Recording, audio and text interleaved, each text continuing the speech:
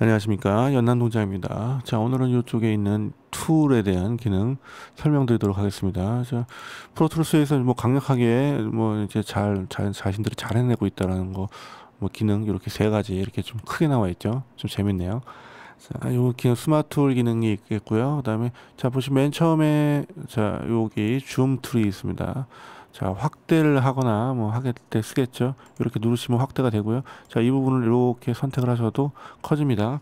자, 반대로 돌아가실 때는요. 이렇게 Alt 버튼 누르시면 다시 작아지게 되어 있고요. 이런 식으로 자, 줌 사용하시면 되겠고요. 그 다음에 자, 이렇게 보시면 자, 자, 요것은 이제 trim tool이라고 나오게 되죠. trim이라는 거 뭐 trimmer라는 거 보신 적 있나요? 가끔씩 우리 그 외국의 손톱깎이 같은 거 보시면 거기에 trimmer라고 써 있습니다. 그러니까 잘라서 사용하는데 쓰는 거 자르는데 쓰는 거죠. 이렇게 자르기도 하고요. 자 왼쪽 꺽쇠가 나오면 이렇게 되고요. 오른쪽 꺽쇠가 나오면 다 반대쪽으로 자를 수 있는데 지금 이제 파형이 너무 길기 때문에 클립이 자 그런 경우에는 Alt를 눌러 갖고 이렇게 반대편 이렇게 자르시면 되겠습니다. 자 그리고 자, 그 다음에 selector tool이죠. 이렇게, 이런 식으로 선택을 해서 사용할 수가 있고요. grabber tool은 이렇게 잡는 기능입니다. 자, 그런데 보통은 이것을 세 개를 한꺼번에 자, 이거 어떻게 선택하느냐 하시는데 F6, F7, 8으로 되어 있습니다. 자, 두 개만 같이 이렇게 누르셔도 세 개를 동시에 누르시면 이런 식으로 되고요. 자, 이걸 못 하시겠는 부분 요 위쪽 이렇게 누르시면 됩니다.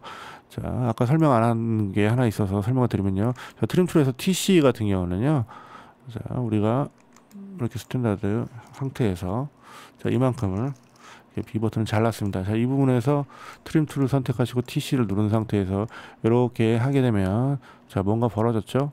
자, 시간이 줄어듭니다. 빨라집니다. 자, 보시면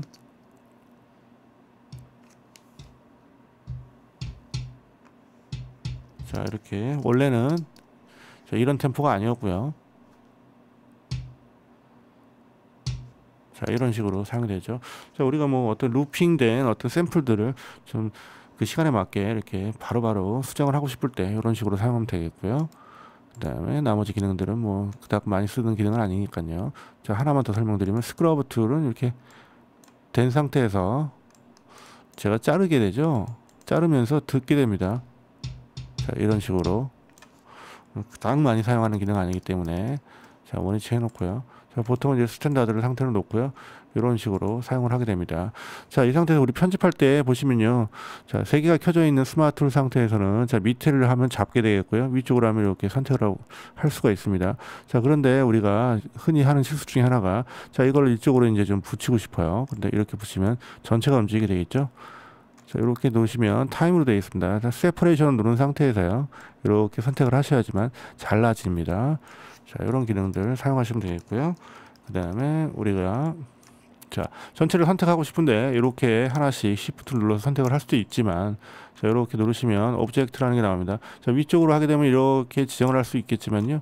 자, 밑에 일반적인 타임으로 되어 있을 때는 이렇게 손 버튼이 나오지만 오른쪽 자 object로 바뀌었을 때 이렇게 바뀌죠 자 이런 식으로 한꺼번에 선택을 그냥 하실 수도 있습니다 그리고 자 요 버튼 이렇게 보시면 자 이렇게 듣게 되죠. 그 다음에 pencil 버튼 여러 가지 pencil의 종류를 해서 오토메이션이나 이런 것들 그릴 때 유용하게 사용할 수 있는 기능입니다. 자 오늘은 자 tool의 기능들에 대해서 간략하게 설명을 드렸습니다. 고맙습니다